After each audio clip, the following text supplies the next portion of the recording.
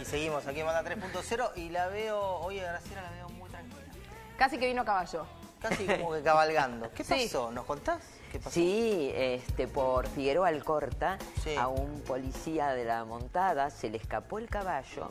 El pobre hombre corría desesperado, lo subimos en el, en el remis. ¿Cómo se le escapó? No estaba el, eh, Eh, o sea, él- no había subido todavía. No había subido todavía. Y lo el tenía caballo- suelto. Y si- no sé, yo no lo vi cuando subió. El, el remisero sí me dijo, este, se le escapó y era, parece un potro, así de que el caballo iba, los autos lo esquivaban. Por Figueroa Alcorta. Por Figueroa Alcorta. Podía ser un desastre. Claro. Sí, y pobre, Esto es una noticia de bueno, último momento, poca placa, Oh, viejo. vivo. Poca, poca placa. No, igual lo tomamos así, pero puede ser eh, un problema bueno, grave. sí, Imagínate caballo sí. por Figueroa Alcorta, ¿no? Sí, ahora después eh, tratamos de seguirlo, se debe haber, no, se debe haber metido por el, por el pasto. Te eh, habrá porque tenido- estaba asustado. ¿Tenía ansiedad el caballo? Y habrá tenido un problema. No, estaba, parece que era muy potrillo. Ah, Era muy Ah. potrillo y se asustó con. Estresado para esa situación. Vamos Sí. a hablar de... De, che, Entonces, de, De un trastorno. De- miedo. ahí se vio el caballo solo de Potrillo eh, transitando por Figueroa Alcorta. Se pegó un susto, ¿no? Y Claro. ahora cómo va a quedar tímido, Es que- con fobia social. Claro. Como tanta gente. Sí, como tanta. Como tanta gente. A ver, en este caso, Ahí está. Está- está dejando los caballos caballo. de lado y mm, adentrándonos en, en nuestro tema del día, que tiene que ver obviamente con una de las fobias sociales, aquellas personas que, por ejemplo, eh, están limitadas de compartir cualquier evento social con otros porque empiezan, digamos, porque no lo disfrutan. Exacto, no solamente que no lo disfrutan, sino que les causa, claro, muchísima ansiedad. En general, a todos, algunos eventos sociales, como hablar en público, como estar entre desconocidos, puede ocasionar cierta ansiedad. Pero el límite es cuando se evita. Estas personas tienen un costo altísimo, digamos, un costo económico, eh, porque muchas veces no, no reciben ascensos, eh, un costo a nivel de educación, eh, casi un 20% de los estudiantes no se recibe. eh, por esta razón, porque no sí, pueden muchas veces dar van a, van a lugares, por ejemplo, quieren, y cuando están llegando al lugar, se vuelven. van. A mí me ha pasado Se con vuelven o directamente, es tan Esa- anticipatorio que evitan y niegan esta posibilidad. Es decir, ni siquiera ya se niegan a esto, no tienen demasiados vínculos sociales. Puede ser generalizada. Ajá. Este, esto quiere decir que toda situación social los pone muy ansiosos y le evitan. Uno es algo más que tímido, porque en general la familia dice, bueno, es tímido. Sí. Cuidado, que esto es una fobia social y se puede solucionar. Y se puede confundir la timidez con eso, En general, s- el- el- popularmente se los traduce como tímidos, pero es un tímido que evita tanto las situaciones que esto le impide crecer a nivel profesional, muchas veces no conectarse con parejas. Esto puede ser una de las causas de alcoholismo. Los chicos, por ejemplo, los que se animan a ir a bailar, eh, a veces beben más para poder eh, Romper esa barrera. romper la barrera. Este está asociado también a depresión. Es la tercera causa eh, de patología psicológica después de la depresión, que es la primera, y del alcoholismo. Mirá. Es decir, la tercera causa, o sea que estamos hablando de un porcentaje altísimo de gente que sufre esto con estas consecuencias sociales. Ahora, ¿por qué se lo llama ansiedad, trastorno de ansiedad? Porque genera ansiedad. La ansiedad es siempre un miedo a algo que va a pasar. La ansiedad es anticipatoria. Y, es, por ejemplo, el fóbico social tiene miedo de algo, está, tiene una situación social y está una semana antes pensando cómo la va eh, Por ejemplo, una relación de pareja es imposible llevar adelante también para alguien. Eh, con- a veces sí, a veces no. Eh, les explico cómo. Porque hay. eh, la traba puede estar a nivel de los desconocidos, a nivel de un ámbito medio, de conocidos más o menos, es decir, de gente que conocemos pero no tenemos amistad. Sí. Y puede ser que en un círculo íntimo uno se desempeñe bien.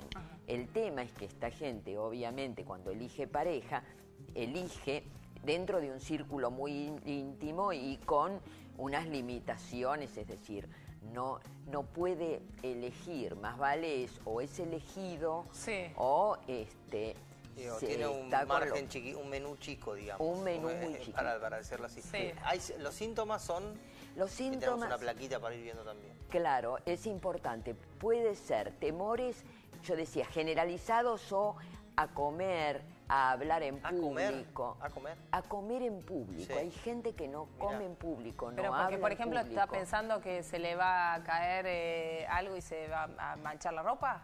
Por ejemplo, o hacer el ridículo. No, no, no, que puede ser un papelón o algo así. Es un papelón, sí. La sensación de que otros lo estén mirando. Eh, acá, en la, a ver, lo que se pone en juego es un sentimiento siempre de humillación porque tienen temor a hacer el ridículo y a quedar, esto es un papelón, hacer papelones. Entonces, el papelón, digamos, el hablar en público puede ser bastante generalizado, pero a comer, a estar entre gente, se sienten avergonzados o humillados. Cuando pasa esto, cuando están ante una situación social, tienen síntomas físicos como aceleración cardíaca, temblor, se enrojecen facialmente, eh, tienen sudoración, tienen malestares abdominales, pueden estas ante los exámenes, cuando uno dice ese tipo de diarreas antes del examen, el Caprex, bueno, eh, esto es bastante también generalizado. esas cosas son comunes, ¿no? Sí, comunes, excepto que en estos eh, pacientes se ve evitan la situación de examen y terminan abandonando la carrera. La diferencia entre alguien que elige ante una situación de, un cóctel no comer de parado porque teme que estando hablando con una situación laboral. Claro. Eso nos pasa mucho a todos. A mí, por ejemplo, me pasa. Digo, no te vas a encontrar con alguien, le vas a pinchar. Comer de parado es un poco complejo. claro. En, los tipos de, muchas veces, reuniones sociales a las que laboralmente asistimos, este está puesto de moda. Y en la copa o el plato. Entonces sí, o cuando acá hacemos el, cuando acá hacemos el, la cata de los viernes. Como si voy a pinchar el queso y me va a quedar el aceite chorreando así. Eh, eso es una cosa. Ahora, cuando vos ya evitas la situación, es cuando, cuando decís no voy directamente... Directamente no va. No va. Ahora, ¿qué proceso es interno el que les pasa a estas personas? Tienen como a ver, su atención está puesta en sí mismo. Se están mirando y observando durante todo, el tiempo. No se pueden concentrar Y criticando.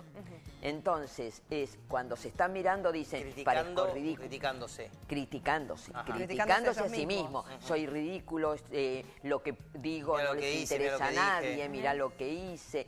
En general, esto depende de poco roce social familias que en general también tienen este poco roce.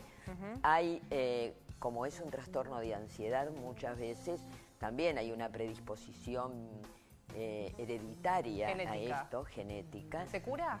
Sí, sí. Eh, a ver, y es importantísimo que sepan esto, no tienen que decir, bueno, él es tímido, salió así, no, no, tiene un tratamiento que va desde lo medicamentoso hasta los entrenamientos sociales.